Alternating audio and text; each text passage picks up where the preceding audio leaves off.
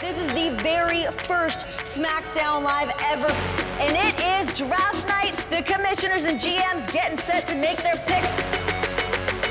Who's going to Raw? Who's going to SmackDown? There we go. Take a selfie. It's my favorite part of the day. Today is the day of the draft. I'm ready to find out where I'm going, who's coming with me. I just want to know. Mark, I'm honestly so nervous for it. Why? Because What what, if I I told you I had all the answers right now? Can you you tell want me me? to spoil? I can't spoil. Let's go there. I am very excited about today. Raw or SmackDown, we're going to crush a new one. SmackDown is about to go live, and I'm super stoked about this. I'm not even gonna let negative thoughts enter my mind. I know Rusev and I are gonna be together. I'm trying to manifest that. Goodbye.